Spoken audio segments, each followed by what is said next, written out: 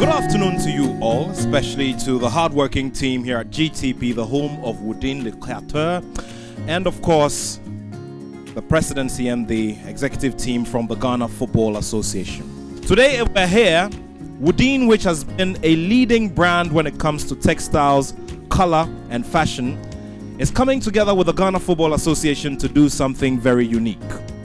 I'm sure most of you are wondering, what does Woodin have in common with football?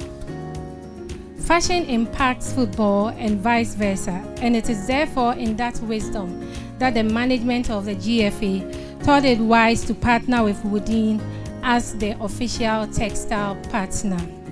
As the official textile partner of the Ghana Football Association, Woodin has once again taken the lead in creativity and novelty as it's the only textile company that has shown leadership in creating a product line of sportswear that is trendy enough to capture the attention of many.